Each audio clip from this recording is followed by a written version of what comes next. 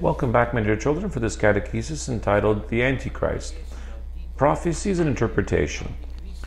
We have spoken so many times about this theme that if the modernists allow us, is not at all a foreign topic. On the contrary, it is a completely biblical and theological theme and is part of the patrimony of biblical revelation.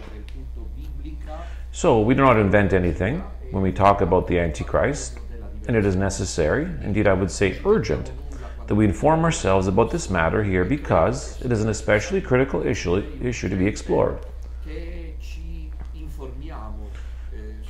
I refer you for the prolegomena, as they say, to my meetings of reflection, to my catechesis that you can find on the Radio Domina Nostra YouTube channel that allow you to deepen your understanding. Just click on Don Minutella, then put Antichrist not because Don Minutella is the Antichrist, but because it is the theme to look for. And you will find further insights on the YouTube channel. However, it is especially important this evening to deepen a theme that is completely overlooked, which is the set of prophecies concerning the figure of the Antichrist. So, I will go ahead in order. First, I'll make a broad introduction then I will offer my interpretive thesis on the Antichrist. And finally, I will read you a couple of prophecies, commenting on them over the centuries that concern the advent of the Antichrist. So I repeat in this introduction, in this introductory part, that we do not need to explain to the modernists that the theme of the Antichrist is a theme, so to speak, that is recognized by revelation, which is present in sacred scripture, particularly in a completely explicit way the theme of the Antichrist is found in the Catholic letters, and in this case in the letters of John, and then in the Pauline letters. But that is not the theme of this evening, and is a subject that I've already addressed at other times.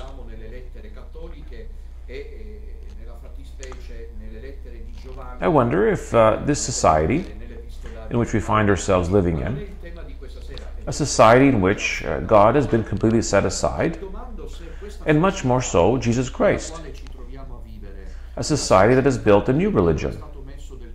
We are in the presence of a new humanitarian religion, in which man is worshipped and not God. A society in which legislation is no longer made, not only without the law of God, but openly against the law of God. It is a society that is preparing, as the Apocalypse says, for the advent of the Antichrist.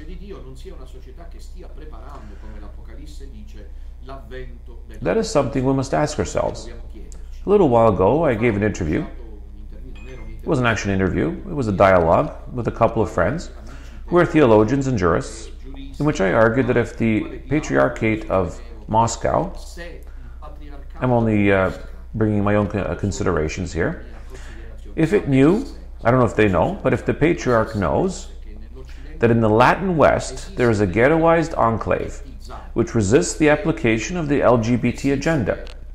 I have no doubt that this could become, who knows if God will not allow it, the occasion for a profound understanding to be born between the Russian Orthodox and the small or large Catholic resistance. You understand me? That a profound understanding can be born between the Russian Orthodox and the small or large Catholic resistance. I don't exclude this because the ways of providence are incalculable. And it will be necessary to make a common front. Moreover, it is said that the great prelate will bring together again the churches of the East and of the West. Here I invite you to pray that the Patriarchate of Moscow, and I say specifically that of Moscow, because the Greek Turkish Patriarchate is another thing altogether, that of Constantinople and of Athens are another thing altogether. Those are a little more aligned with the modernist and progressive positions of the West. But instead, the Patriarchate of Moscow, if it knew that here in Rome, for example, in, the, in Western Europe, that is, there was a Catholic reality that is not aligned with Bergoglio, the false pope, the implementer of the globalist and syncretistic and pro LGBT agenda. But there is an entity that we, for example, represent that courageously does not bow down to the globalist diktats because we are on the front lines. Because when Russia declares that it does not comply with the diktats of the globalist agenda, it is still in Russia. The traditional Christianity is preserved. Moscow is not at all what we see in the news. But if they knew that there is this resistance, I think this could be effective. Let us pray for this to happen.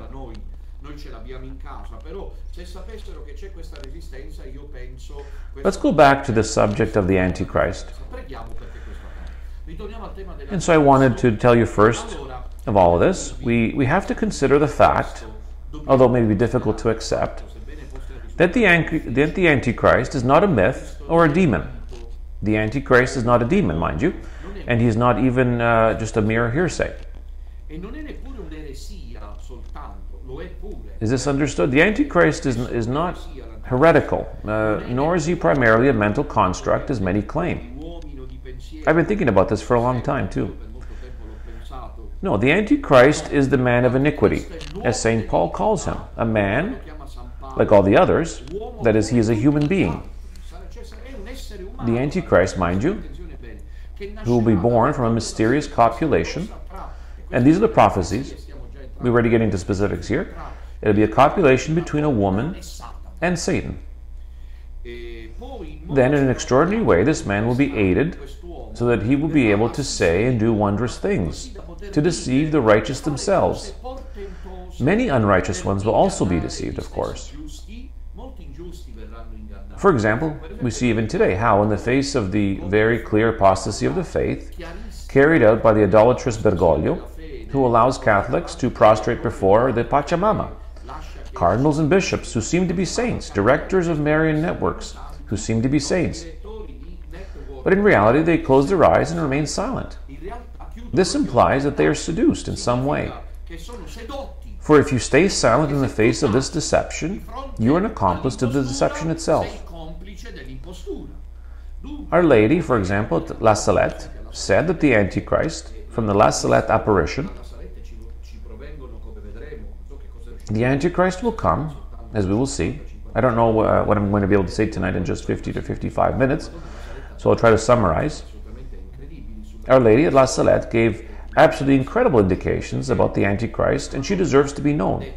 Because Our Lady said that he will speak seven times, six times better than her son, Therefore, he will have extraordinary powers. He will therefore deceive the righteous themselves and will dethrone all the mighty of the earth, becoming for a time the commander, so to speak, the ruler of the world.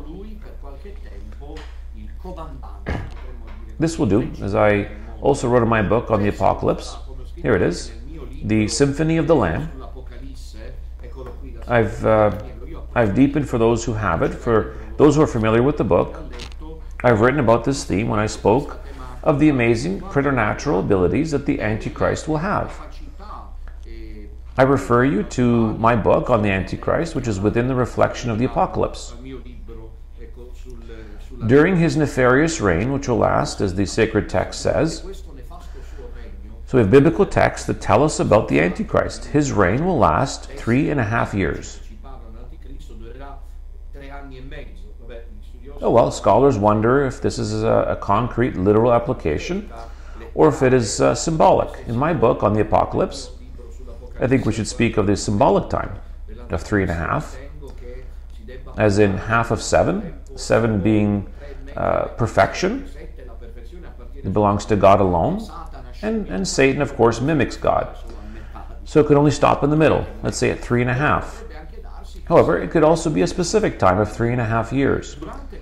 During this ominous time that I uh, say right away, none of us is prepared because of the ecclesial government we have. Because here I would like to tell you, since we're in the days that prepare for the feast of Our Lady of Fatima, next Friday, May 13th, is the anniversary of the apparition of Fatima. Our Lady gave the three secrets on July 13th, 1917. The third secret speaks, without any doubt, of the Antichrist as well. I have no doubt about that. I have no doubt. Indeed, I believe that when it is finally revealed, we will still be alive. It will turn out that a conspicuously large part of the third secret of Fatima concerns precisely the coming of the Antichrist. However, today's presumptive Catholic hierarchy, or should I say uh, pseudo Catholic hierarchy, wanted to remain completely silent in the face of the advent of the Antichrist. And so we are completely unprepared for what he will do. Here, during the nefarious reign of the Antichrist, of which the scriptures speak, he who I repeat is a human being, he is a man like all of us, but conceived by the work of Satan, because Satan tries to imitate God. Christ was conceived by God in Mary's womb. The Antichrist will be impressive, but he'll be conceived by the work of Satan. Not necessarily directly by Satan, because Satan is an angel, is an angel and he does not have uh, the male seed, of course. He takes the seed. And so, there you enter into something mysterious. But now I have a suggestive thesis of my own that I hope will not lead you to, to beat me. I have an idea that I'm not that I'm now telling you about how the Antichrist will come. Because if he comes out, let's say from the human race, Scripture must be able to tell us something. And I've glimpsed something. Now I will tell you. But in the meantime, let us conclude this first passage. During this reign that is not uh, is not said to be far away, and that is not excluded that the Antichrist is already in our midst, because we see the uh, the Antichristic society anyway. It will upset all peoples. It will persecute the true church, because we, as the Antichrist exists, he will make his own church. Beware of this decisive passage. That is, there will be a church of the Antichrist that will pass off as the official church. That will pass as the church of all ages, because the attempt will be uh, to not make the transition well understood. But in reality, it is no longer the Catholic Church. It is the false church of the Antichrist. Therefore, the anti church will emerge. Is this understood? The anti church will therefore persecute the true church, while the Antichrist will give pomp and glory to the false church that he founded and will be uh, he'll be worshipped, as the apostle Paul says. The Antichrist will come to be worshipped in the temple of God, in the holy place. Now, this holy place, as many interpreters of the prophecies concerning the Antichrist say, is Rome, without a doubt. That is why Our Lady at La Salette said that Rome will become the seat of the Antichrist. So we must become increasingly aware that the Antichrist is a human being, endowed by reason of the fact that he's conceived with a satanic type of copulation. He is endowed with extraordinary powers.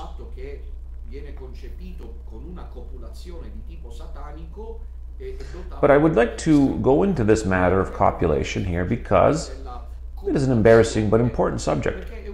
Because if we are saying that the Antichrist is conceived uh, by the copulation of Satan with a woman, we must be able to identify something in Scripture.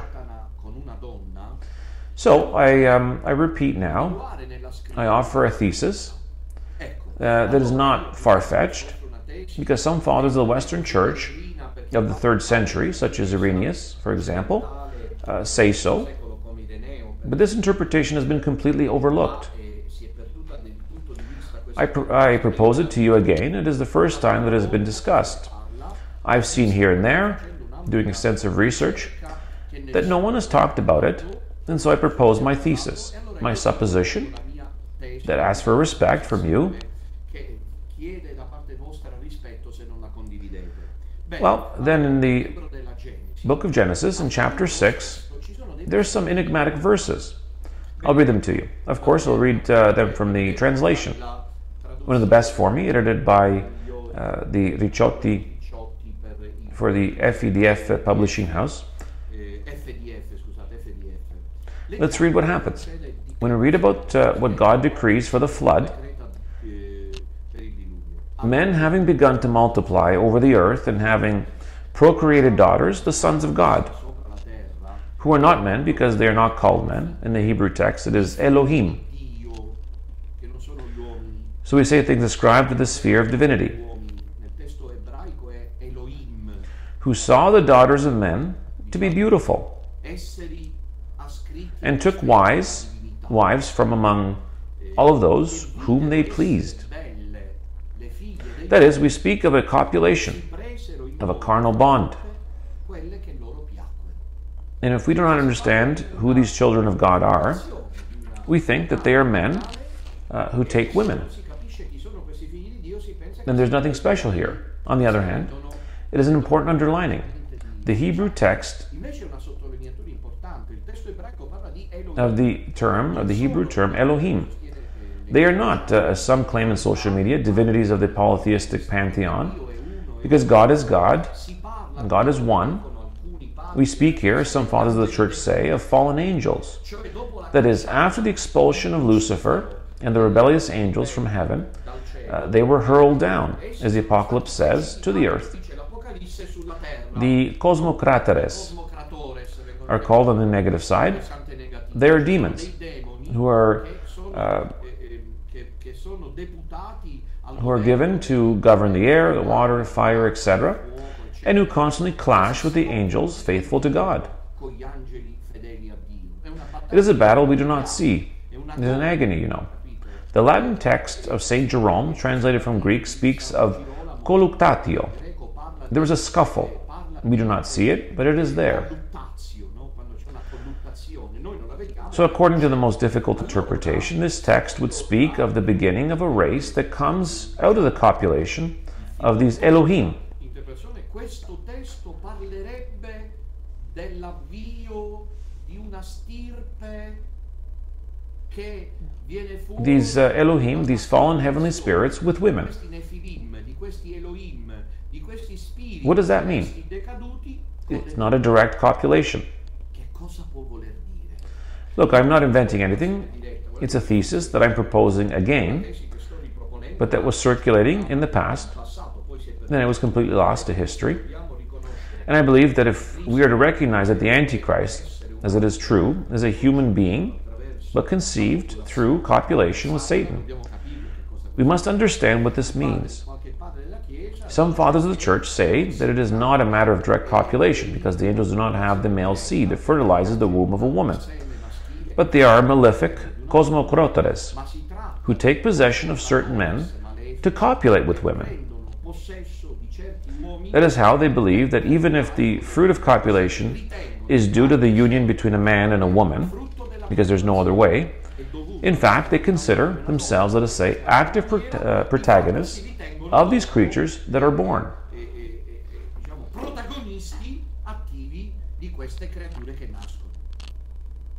It is shocking, I know, but Satan has never done this. Now we know from ancient Christian, even pre Columbian cultures, that in some circumstances, in animist cultures, it still happens. Tribal dances are made in which, first, through narcotics and constant uh, rhythmic dancing, one goes into a trance, and uh, in this trance, in which um spirits enter the male, there is a collective or single orgy with a woman who conceives what is then considered uh, a being destined for great works. This is attested. These dances can even be uh, macabre. These satanic dances that then involve, in the end, a copulation between a man and a woman, but of a man who is already possessed by impure spirits.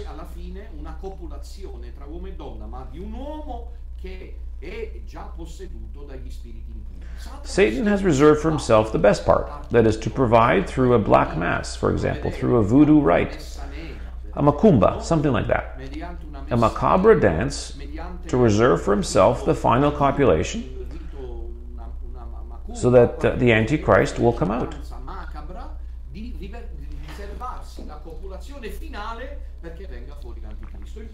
The text is even more enigmatic because in verse 4 it says, Now there were giants on the earth at that time, because after the Elohim, they say they are children of God.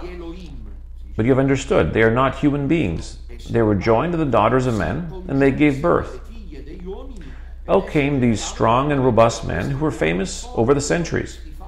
Some fathers of the church, some exegetes, especially in the contemporary, uh, contemporary era, they smile and scoff at this matter, and they, and they prefer to skip the stuff completely. Even Father Dolindo Ruotolo prefers not to go into this in depth in his uh, commentary in Genesis. But this text, then, as you are hearing, speaks of the possibility that the, the Elohim, that for us, with respect to what a certain uh, Biglino says, for example,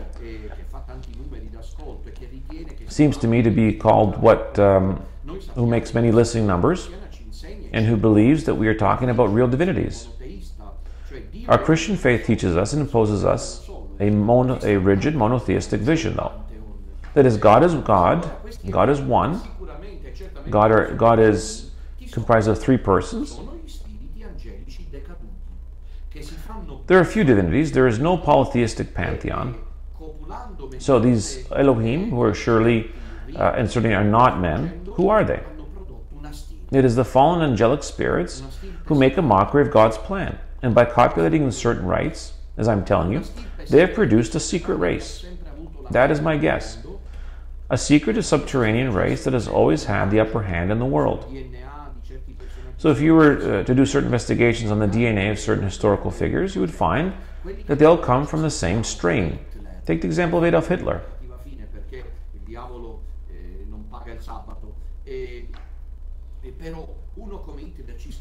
How was Hitler conceived? Do we know? potere come è stato concepito Well, let us also see Bergoglio. vediamo anche Bergoglio come è andato How did it really go with him?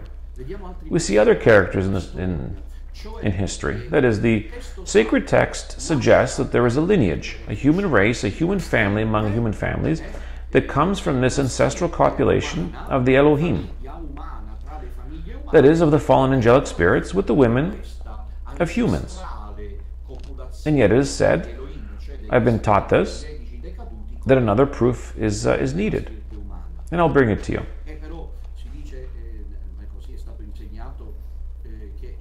And you'll be speechless. To tell you that I, uh, I do not want tonight to force you to believe this stuff, but my dear children, we must consider these things. Is there, any other, is there any other proof of these hypotheses in sacred scripture? There is, there is. I'm going to show it to you. Ve la vado And right from Genesis, a dare. Proprio it could only be the apocalypse, the apocalypse essere poi l'Apocalisse. to say that this satanic race from which the Antichrist will come. Manica da cui proverrà l'Anticristo. Pensate, io Sorry, I bring you um, a technological reason. Tonight's speech is especially important. Is it true? poi anche Luca Isn't it that Matthew and then also Luke emphasizes the importance of Christ's uh, genealogical lineage? Yes, it is true. And even if Matthew brings us back to Abraham, and therefore 19, 1900 years before Christ, no less than Luke, as I write in my book, he became flesh, he leads him back to, to Adam himself to say that uh, then there was a noble race, a holy lineage, a royal lineage, a race pre-selected by God, uh, from which Christ came by the power of the Holy Spirit.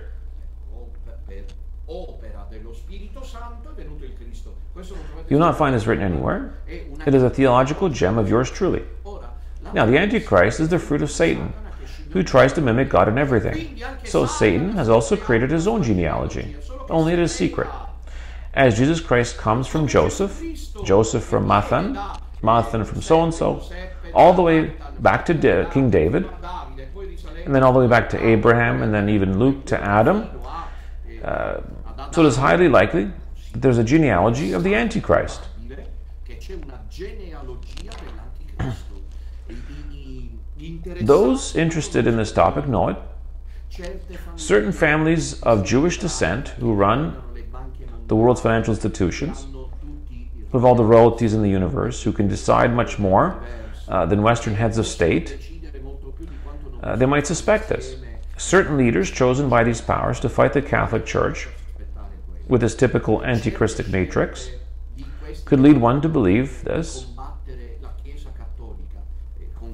But there's a third further element that makes us believe that there may be a carnal offspring of the Antichrist that has remained until now and that will remain hidden, clandestine, semi occult, until the Antichrist himself manifests as it happened for Christ.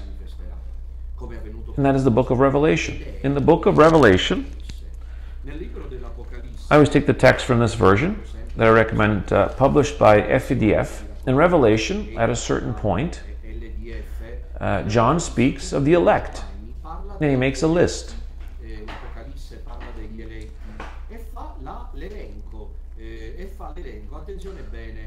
Let's see here.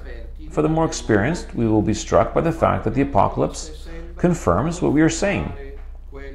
stiamo We're in chapter 7, and we are speaking of the lineage of all the elect. And at a certain point, we read, And he heard, chapter 7, verse 4, the number of those marked, that is, marked with the seal of salvation, the sphragis, 100 144,000, marked by all the tribes of the children of Israel. And here begins the specific list. Keep count. From the tribe of Judah, 12,000 marked. From the tribe of Reuben, 12,000 uh, marked. From the tribe of Gad, 12,000 marked. From the tribe of Asher, 12,000 marked. From the tribe of Naphtali, 12,000 marked. From the tribe of Manasseh, 12,000 marked. From the tribe of Simeon, 12,000 marked. From the tribe of Levi, Levi, 12,000 marked. From the tribe of Issachar, 12,000 marked. From the tribe of Zebulun, 12,000 marked. From the tribe of Joseph, 12,000 marked. From the tribe of Benjamin, 12,000 marked. 12 ma nessuno How many are there? Are these? tra i non esperti che incredibilmente manca uno 12, but uh, no one has noticed among the non experts that incredibly a tribe is missing from the count, and the fathers of the church wondered why this tribe, that the tribe of Dan, is missing. I asked my collaborators to take my book. Where is it? The fathers of the church wondered why the tribe of Dan is missing. All right? Because if you look at the Old Testament tribes of Israel, you will see that there is a tribe of Dan. Why doesn't the Apostle John or someone on his behalf include the tribe of Dan? Is it an oversight? Or is it done on purpose? The fathers of the church say that it is done on purpose. The tribe of Dan, according to the Apocalypse, is exactly the missing link, the last link in this chain of an underground satanic genealogy. Isn't this stunning? I think so. Dear children, do not be too impressed because, my dear ones, we are in the presence of a reading of history that is a history of salvation that foresees the clash, especially the final one. In my book, The Symphony of the Lamb, I delve into this matter here, and I write The tribe of Dan is missing from the list. This omission of John is already uh, justified in the fathers of the church by the conviction that while Christ came from the tribe of Judah, the Antichrist will come from the tribe of Dan. So, this thesis of mine that I am presenting to you tonight, which is a little terrifying, is nevertheless theologically proven. There are already the fathers of the church who say Christ comes from the tribe of Judah, and there's a genealogy that goes back in Matthew all the way to Abraham, in Luke all the way to Adam, the progenitor of humanity. In the same way, there is, without uh, our being openly aware of it, a lineage of the Antichrist that goes all the way back to this moment in history, which is so enigmatic in Genesis chapter 6. si sei i giganti Giants are not to be understood simply in terms of physical appearance, also, but of intellectual and spiritual gifts, because being part of a dynasty obtained with the participation of demons, spirits come out. And in fact, some families, some families that today have famiglie enormous wealth and that work for the New World Order, if I survive this catechesis, it is a miracle. Some families that, uh, that have the global financial institutions in their hands, if you notice, they have a lineage. A lineage that makes them all competent in music, intellectually very gifted, who succeed in everything, to whom all doors are opened. They have in their hands the power of the world. It is the dynasty of the Antichrist, which is where the Antichrist will come from, from a Jewish family. Because, why, because, why from a Jewish family? in Because to the very end, Lucifer wants to imitate God. Christ co- uh, comes from a Jewish woman, and a dynasty from a Jewish, from a Jewish lineage. then Lucifer cannot allow the Antichrist to come out of a dynasty that I would call from someone who is Italian or French or Spanish. He must be of Jewish blood. And then, Therefore, Dan is not there because he is uh, the tribe from which the Antichrist will come. And it is possible that this is the tribe which belongs uh, to this form of copulation with the Elohim, that is, rightly translated as children of God. But they are not the children of God, understood as human beings. They are the children of God, understood as superhuman realities, but not to be understood as divine entities.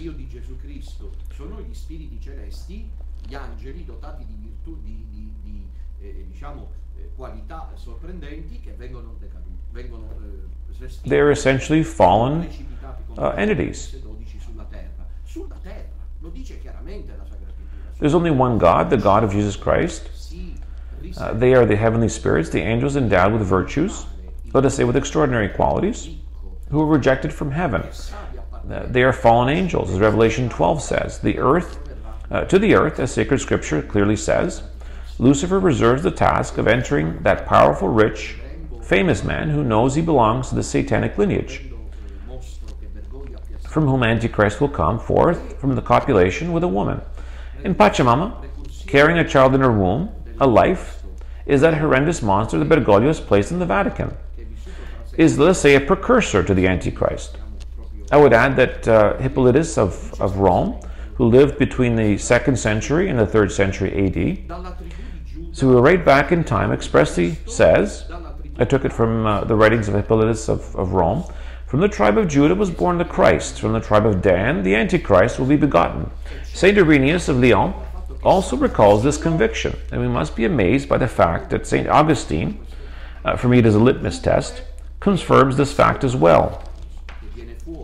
So it is a human being that is the Antichrist who comes out of this tribe of Dan, who at the beginning of human history had a copulation by a, double, a diabolical possession with the woman of human lineage, and a subterranean lineage came out that then naturally, like all human races, spread all, all over the planet. Ma ci sono questi, ci sono questi esseri But there are these human beings who carry altered DNA, ma che hanno who are successful in life.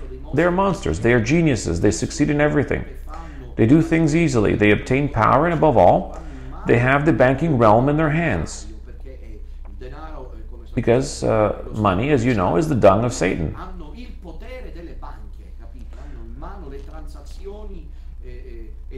So they have financial power. They have the world's economic system in their hands. Saint Bede, the Venerable, who's one of the last fathers of the church, writes that John left out Dan, from whom it is said that the Antichrist must be born. So as you can see, I'm asking you for patience tonight, because I don't, I don't think many of you have ever heard these things. But before presenting them to you, I, I prayed on this, I pondered, I meditated on these issues. Keep in mind, it is an- it is a hypothesis. It's theologically convincing, let us say, but still a hypothesis. Per cui si è creduto che da Dan dovesse venire l'anticristo I add, what is the reason it was believed that the Antichrist had to come from Dan? del nord che si Because from the tribe of Dan? Dan is the northern tribe that had defiled itself with idol worship. So here's a reference to the Pachamama. The reference to Pachamama is very important because Dan is considered by the fathers of the church, by some fathers of the church, as the tribe from which the Antichrist comes carnally. As it is the tribe that most of all, because the others have also done so, has prostrated itself before idols with the act of final apostasy. That is, while the other tribes have made a sort of henotheistic choice, that is, only one God amongst many, the tribe of Dan had made a choice of apostasy, an outright choice. That is, that there is no Yahweh. We do not care about Yahweh. We want to worship these divinities. And, uh, and what gods are they? They were the gods to whom children were sacrificed, the Bible says. Moloch. Children were sacrificed to Moloch in the traditions of the tribe of Dan. We know that satanic like rites were conducted. The scripture says it very clearly. Then, until Bergoglio came on the scene, idolatry was considered a sin that cries out for vengeance in the presence of God. Pa- Pachamama was introduced into the Vatican. Look, look what is said about the tribe of Dan in 1 Kings chapter 12, verse 28. loro e disse a Whereupon the king took counsel and made two calves of gold and said unto them, It is too much for you to go up to Jerusalem. Behold thy gods, O Israel, Non ci vedete Bergoglio? Which bought the uh, the land of Egypt. And he set the one in Bethel, and the other he put in Dan. And this thing became a sin, for the whole went, for the whole people went to worship before the one, even unto Dan.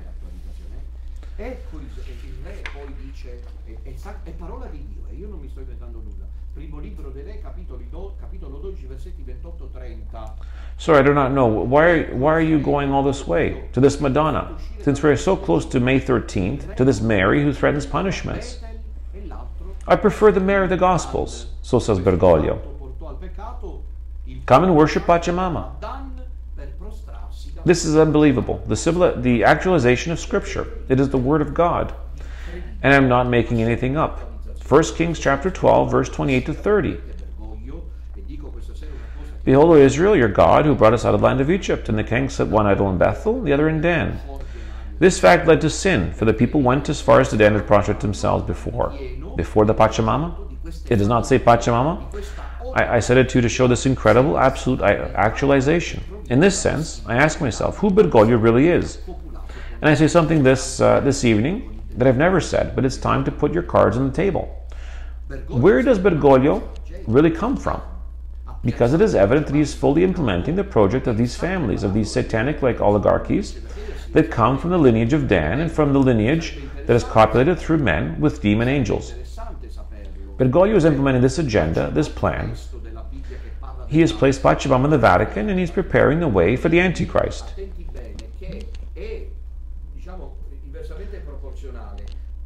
So one wonders exactly where does he come from? It would be interesting to know. It would be interesting to know.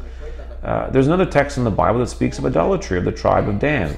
Therefore, mind you, uh, let us say inversely proportional to the promotion of a tribe, like the one uh, from which the Antichrist comes, corresponds to the, to the idolatrous, uh, idolatrous extension. Look what happened with the Pachamama. People did not rebel apart from people like us. Most people accepted it. Did they not become a sort of tribe of Dan? For the Antichrist to come, there must be a predisposition to welcome him. Who rebelled against Pachamama? It is an idolatrous act. It is not that there is something to discuss. Who rebelled? Now, in Jeremiah, we find in chapter 8, verse 16, this text From Dan, you hear, you can hear the snorting of his horses. At the sound of the neighing of his steeds, the whole earth trembles. Now, what does this warlike advance of the tribe of Dan mean? For the fathers of the church, and already in the rabbinic tradition, it is so. It shows the advance of apostasy, the advance of apostasy and idolatry. So, one of the signs that will show that we are approaching conception if not even birth and development of the Antichrist in terms of a single human being, copulated with the participation of Satan, is that in the meantime, this lineage from which the Antichrist comes will spread in the world through the media, economic power structures, and political power, only to discover there is some leader in the East who rebels, and for this reason, he starts immediately a smear campaign.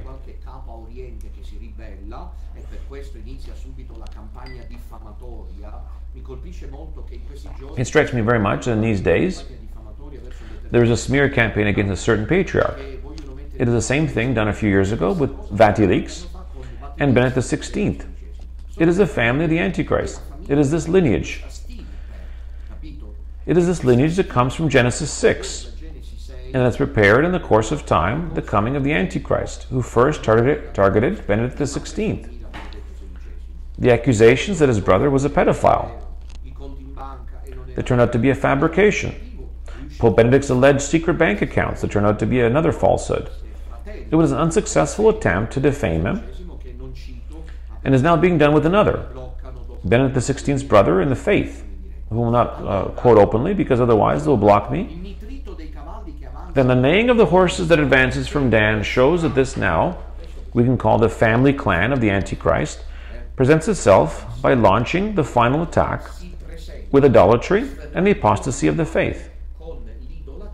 It seems to me, however, that we have nothing more to say about this. However, there's a final reference to the tribe of Dan as a possible tribe in which uh, this copulation took place, which Genesis, Genesis the sixth speaks of the fallen Elohim.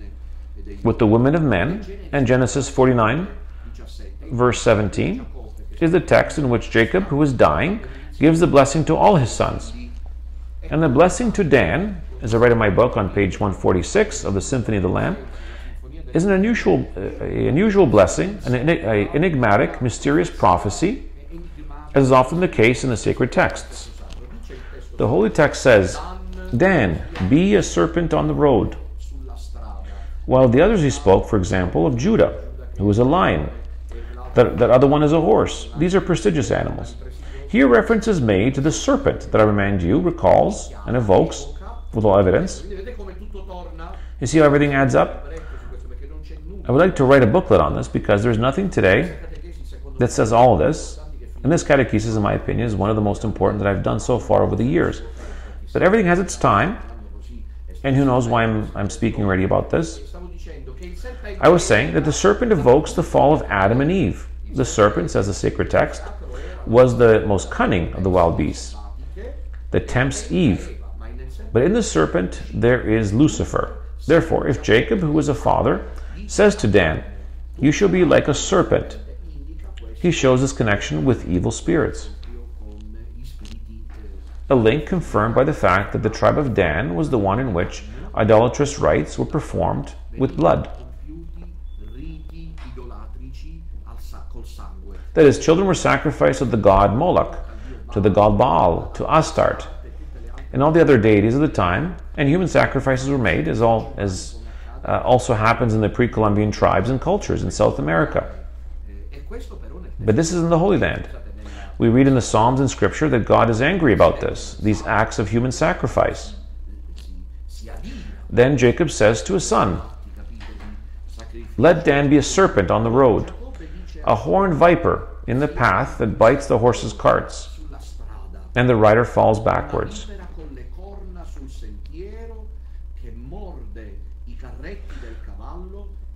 So power is uh, proleptically attributed to the tribe of Dan, which is like that of, of Lucifer, and which is characterized precisely, as we are saying, by the fact that we have a possible copulation between the daughters of the tribe of Dan and these Elohim, these fallen spirits, that through men, perhaps through tribal dances that still exist today, where one goes into a trance and then ends up having orgies, this offspring has been initiated uh, that will ultimately lead to the birth of the Antichrist himself.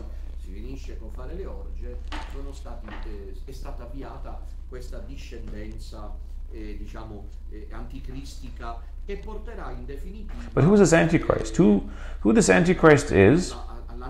Uh, well, he's a human being. He is one who will present himself as a savior in the manner of Jesus Christ, of course. There's a little known, little known text by Leo XIII, the Pope that saw the church attacked by Satan, which reproduces an allocution given at the consistory of June the 30th, 1889.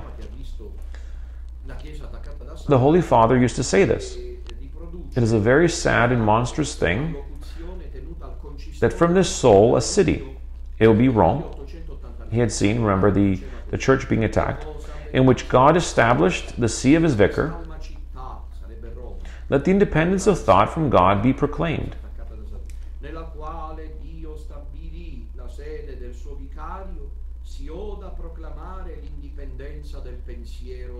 And whence the world is accustomed to receive the frank teaching of the gospel and the counsels of health, here things are changed by the wickedness of men we contemplate monuments erected with impunity to vituperative errors and to heresy itself. This is in 1889. And in this city of Rome, a monument to an evil and lost man has been erected. He refers to Giordano Bruno. There in Campo dei Fiori, it is no coincidence that that one was, um, the, was then made, that a procession attended, you see that everything adds up. St. Maximilian Maria Kolbe, where Lucifer was standing and St. Michael below him. And it was written, We will arrive in the Vatican. The Pope will be one of us. In 1889, Leo XIII deplored this monument, placed in Campo dei Fiori in honor of Giordano Bruno, which they wanted to rehabilitate.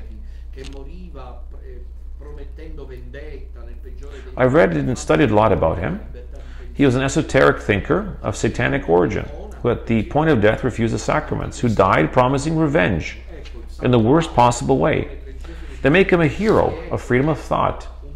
Giordano Bruno has become an icon of thought, not surprisingly, of anti Christian thought. Here, the Holy Father Leo XIII says, A monument to an evil man has been erected. It is lost. And this city of Rome, which it was said would always be the glorious and sure see of the Roman pontiff, is instead willed to become the counterpart of a new impiety, where human reason, equal to God, has an absurd and vicious worship. here Leo XIII could not have known what Our Lady had said in the meantime at La Salette, namely that Rome would become the seat of the Antichrist. Another thing that I would like to say, which seems very important to me, is that according to some scholars, the fathers of the church, I'm naming you uh, because otherwise you will not believe me Saint Jerome, Andrew of Caesarea, Aretas, Bede the Venerable, Aimone, Rabanus, Strabus, Saint uh, Azolmus, Rupert of Deutz, Peter Comestor, Ludolf Carthusian, Saint Antoninus, whose feast is today, John Gerson, etc. The, the Antichrist will be born in the north of Israel. And in the north of Israel, there was a tribe of Dan. It will be the result of an illicit uh, relationship, and he'll be educated in, ex- in, in extraordinary evil arts and will know by heart the scriptures. This is a quote from St. Anselm of Aosta that I take from this booklet that I've always uh, recommended to you from FEDF Publishing House, which is uh, meritorious because it publishes books that are not found easily. This is a text entitled The Antichrist by Augustin Lémann. Is it, uh, is it correct the way I'm saying in French? Augustin Lémann is a French priest who died in 1109 bene, secondo Sant'Anselmo who wrote this text. Well, according to St. Anselm, the Antichrist will know the entirety of sacred scripture by heart and will know the arts uh, directly. That is, he will, uh, he will not have to study. He acquires them by the work of his father, who is Satan.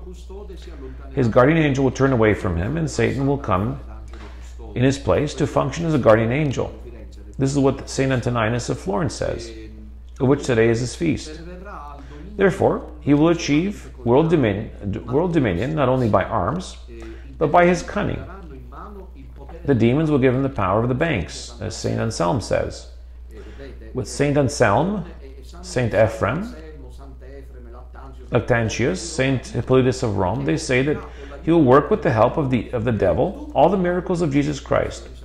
He will heal, heal the lame, make the paralytic walk, even raise the dead. There are a whole set of reflections and certainly make us reflect a great deal. There's a couple of other prophecies. Uh, time is running out though. It seemed to me that I was uh, just spelling something out tonight. The incense and other circumstance, in particular Saint Vincent Ferrari, who is not, uh, not by chance called the angel of the apocalypse, and who had the opportunity, perhaps like few others, to deepen the matter of the Antichrist. His texts are, are not well known. I read you one of his homilies on the Antichrist. He will be a real man, St. Vincent Ferrari says, but so proud that he will not only desire to have complete dominion over the whole world, but will even demand to be called God and insist on receiving divine worship. If you read Revelation 13, we are here. Once more, the Antichrist will direct his attacks against simple people who are so pleasing to God because their hearts turn to Him in righteousness of intention. He will use magic. I also talked in my book about mind control. That is the system of mind control.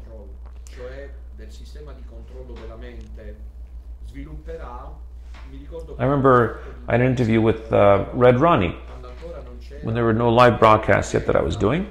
We were talking about uh, frequencies, musical frequencies, and he told me that there's a study in musical and auditory frequencies. So I'm not an expert on this topic. I don't know how to describe it exactly. I say in my own words. If you reach a certain frequency, this frequency comes to govern the mind. And a lot of rock singers, a lot of uh, rock singers know this. They know this. They this exceeding this exceedingly high level of, of decibels. For example, in uh, heavy metal music, as the gatherings and rave parties are called, you can exceed certain frequencies because you then obtain control over the mind.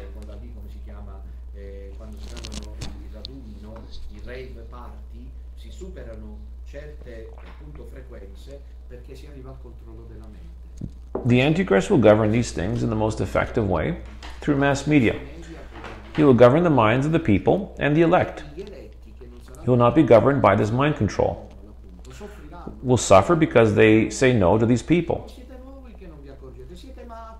They'll be the elect will be accused of uh, being crazy.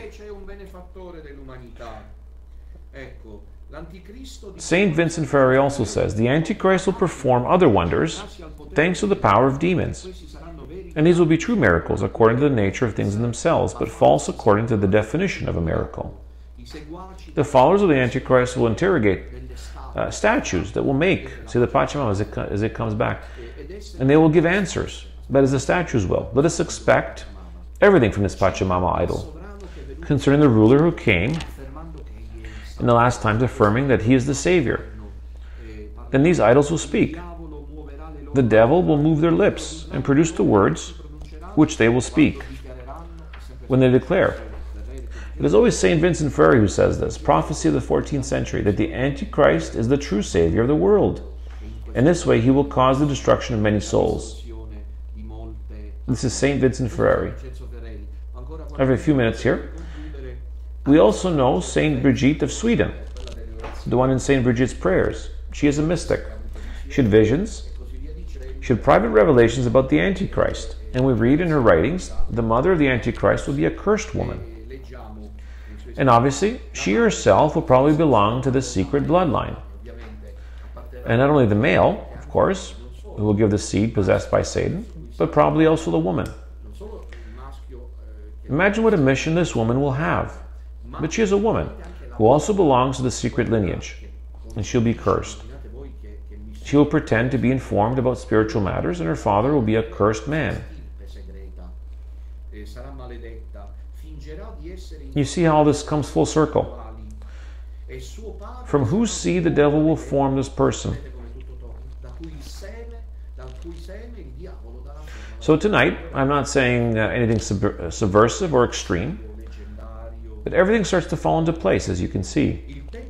The time of this Antichrist, says uh, Saint Brigitte, whom I know well, it will come when iniquity and ungodliness abound beyond all bounds, when unrighteousness has filled the measure to overflowing, and wickedness has grown to measurable proportions. He will reign for three years and rule over all the earth. This is a prophecy of Saint Brigitte. To come to our days, among the many possible indications of the prophecies of their interaction that I've tried to offer you this evening, there is one that struck me very much.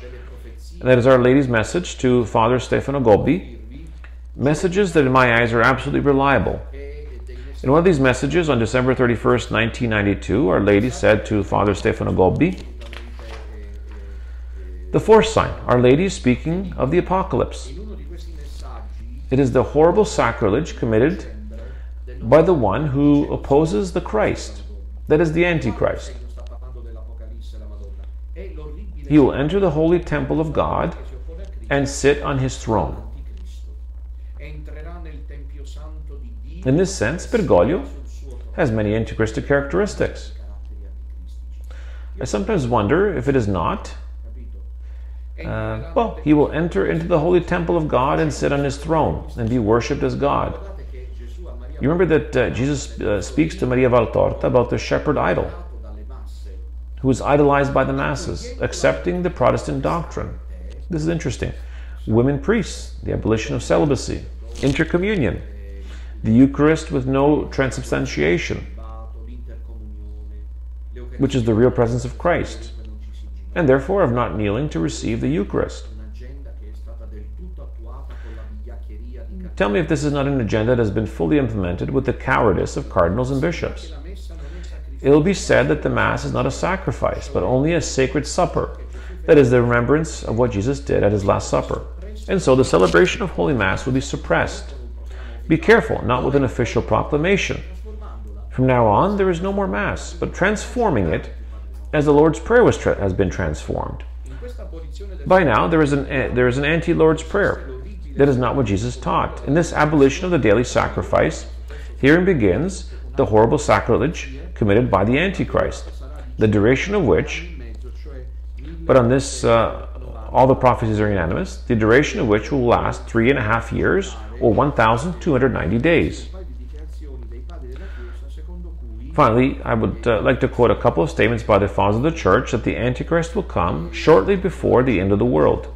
And I quote from St. Augustine, the city of God, which states, Before God's last judgment has in- been introduced, this is St. Augustine, therefore, summa autoritatis, if the reign of the holy ones has been introduced, the reign of the Antichrist will attack the church fiercely, even only for a short time. This should console us. Therefore, he denies or, or, or doubts that the last judgment will take place as foretold in the above mentioned books of the Bible, except he who, for I know not, uh, what incredible ill will or ignorance, does not believe in them. We have learned that in, the, in um, that judgment and around the judgment, these events will take place. The coming of Elijah of Thisbe. This is something that I've dealt with in my book. I also cite a source who I can, who I would imagine is quite credible. That is Padre Pio, who believed in the return of Elijah in the flesh. The faith of the Jews. Uh, we know that uh, the Jews will convert en masse. The persecution of the Antichrist, the judgment of Christ, the resurrection of the dead. Here, St. Augustine puts everything in sequence the uh, discrimination of good and bad, the cataclysm of the world and its rebirth. Let me conclude. First of all, we've seen that it is possible that the text of Genesis chapter 6, which speaks of a copulation of the Elohim with the women of men, refers to the beginning of a possible satanic lineage, which is then confirmed by the fact that in Revelation 7, the tribe of Dan, that is not mentioned, later just uh, considered by the fathers of the church to be the tribe of the Antichrist. It is possible that out of this lineage, that has global financial power in its hands, the satanic oligarchy of Jewish origin, the Antichrist will emerge. The prophecies I was telling you confirm this. I've read several of them. This empire will last three and a half years. An absolutely clear agenda will be applied where Jesus Christ is missing. This will be replaced by a syncretistic type agenda. All the religions are the same. Environmentalism and ecological concerns will predominate. The ecos will become the ethos. That is, it means you protect the environment. What does it matter if you're an adulterer, if you're a carnal, if you live in the sin of the flesh? What is important, however, is you contribute to the protection of creation. Ecos replaces the ethos. This is the agenda, and uh, here referred uh, to that. Uh, stop me, because otherwise I could go on for hours, but these are the issues that concern us all. I'm paying with my own blood. I've not spilled actual blood, but it is as if it has happened. So every right to be heard. I have every right to, to be heard by all. I was saying that in uh, text, The Antichrist, he talks about an interreligious summit where the Antichrist presents himself as the savior of humanity, the master of the world. You remember Benson's other great English text, The Master of the World? So, this Antichrist will apply, if he's not already doing so, an anti Christian agenda, where a pantheon of religions and the New World Order will replace the primacy and salvific uniqueness of Jesus Christ. How will it end? In the end, the time available to the Antichrist is shorter than we imagine. All the fathers, as you have uh, heard the spiritual masters, the theologians, say of a three and a half year period. That even if not in a literal application, there's still a symbolic application that makes us think of a brief time frame.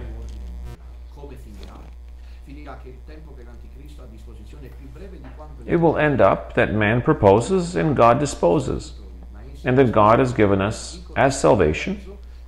Someone wrote at the beginning, I'm terrified, but we have the Blessed Virgin Mary who conducts a counterplan. It is the clash in Revelation 12 between the woman clothed with the sun and the red dragon. That is, uh, just as there is a carnal lineage of the Antichrist, there is a spiritual lineage of Mary, which is that of the apostles of the end times. And I believe that today, more than ever, we are in the presence of something never seen before. Everything was already being planned, starting from the West, uh, and spreading to the entire planet. This new world order. Everything was now clear. It was necessary for the heads of government of the whole world to sign an agreement in which gay pride and LGBT demonstrations would, allow, would be allowed, and the governments would make themselves available for their application to the application of the uh, Kalergi plan, or the Kissinger plan, or the Soros plan, just to name a few. Let's say uh, towards the decimation of humanity, an ever tighter control of individual rights, and so on.